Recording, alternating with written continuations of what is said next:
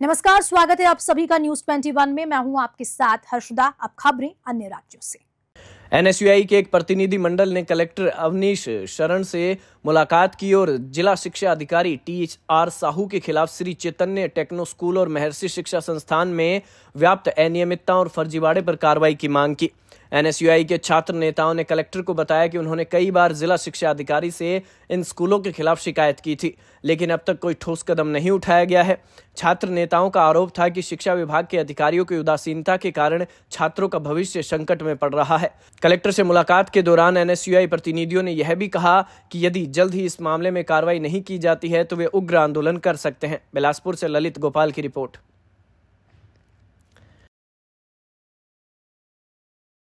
देखिए, हम लोगों ने यहाँ बिलासपुर के जिला शिक्षा अधिकारी को पहले कई बार ज्ञापन के माध्यम से अवगत कराया था कि श्री चैतन्य टेक्नो स्कूल और महर्षि यूनिवर्सिटी में जो बी एड डी एड संस्था संचालित हो रही है, जहाँ महर्षि महर्षि में जो डी संस्था संचालित हो रही है, वहाँ पूरे तरीके से गड़बड़ी है।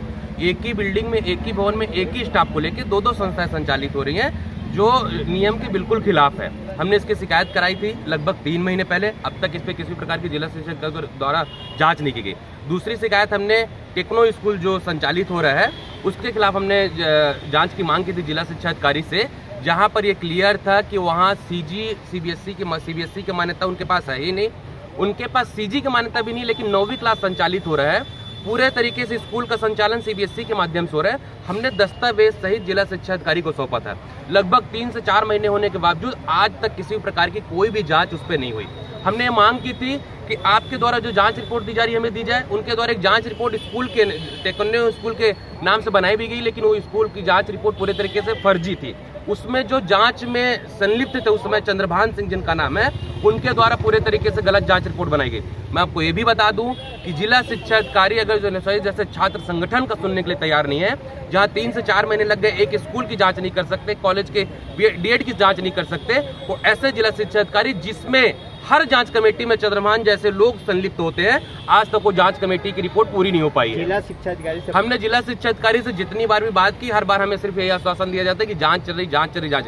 आखिर जाँच का कोई तो एक पैरामीटर होगा कि जाँच कितने दिन में आपके द्वारा कंप्लीट कर लिया जाएगा। लेकिन तीन महीने हो रहे हैं चार महीने हो रहे हैं इतने बड़े बड़े आंदोलनों के जिला शिक्षा अधिकारी द्वारा अभी तक उसमें जाँच रिपोर्ट सबमिट नहीं की गई। मैं आपको ये भी बता दूँ कि वही जिला शिक्षा अधिकारी है जिनके ऊपर ईडी का छापा पड़ा था।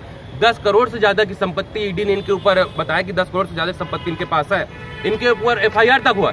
लेकिन सोचिए, इसके बाद भी आय से अधिक संपत्ति होने के बाद भी छत्तीसगढ़ में बैठी भारतीय जनता पार्टी की शायद सरकार किस तरीके से एक भ्रष्ट जिला शिक्षा अधिकारी को बिलासपुर जैसे बड़े शहर में, ज़िले में बैठा के रखी है, जो किसी का सुनने के लिए तैयारी नहीं है। इनका काम चंद्रभान जैसे जो लोग होते हैं, जो जाँच कमेटी में होते हैं और वो संस्था और जिला शिक्षा अधिकारी। इसके बीच में कैसे एक मध्यस्थता की जा सके इनके पैसे के लेन देन का और वही सारा पैसा जो इन संस्थाओं से जाँच नहीं होती सारा पैसा जिला शिक्षा अधिकारी के पास आता है जो ईडी आप सबके सामने दिखा चुकी है एफ़ आई आर तक से क्या चाहते हैं? हम कलेक्टर साहब से ये मांग कर रहे हैं कि पंद्रह दिनों के भीतर techno school Shri Chaitanya techno school Maharshi में डीएड जो संचालित हो रहा है इन दोनों की जाँच की जाए। जाँच अधिकारी जो जिला शिक्षा अधिकारी द्वारा बनाए गए थे उनकी जो जाँच रिपोर्ट उसकी जाँच की जाए।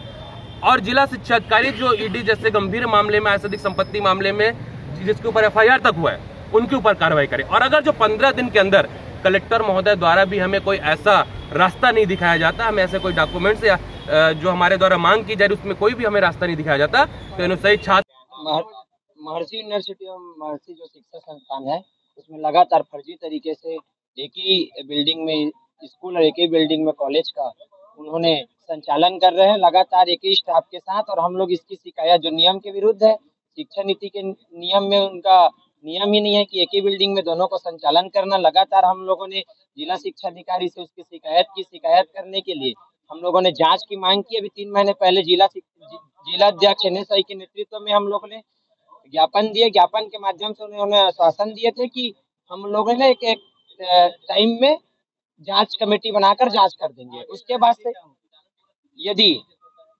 जिला शिक्षा अधिकारी के तो बस में नहीं है, उन्होंने तो भ्रष्टाचार जिला शिक्षा अधिकारी है, ईडी और आईडी के छापा पड़ता है तो समझ में आ जाते हैं। आज हम लोग शिकायत लेके कलेक्टर से कलेक्टर के पास आए। कलेक्टर पंद्रह दिन के अंदर हम लोगों ने मांग रखे हैं, एनएसआई के साथियों के द्वारा पंद्रह दिन के भीतर यदि कलेक्टर के द्वारा भी इसमें कोई कार्रवाई नहीं करती तो हम लोग अनिश्चितकालीन भूख हड़ताल पर बैठेंगे। यादव।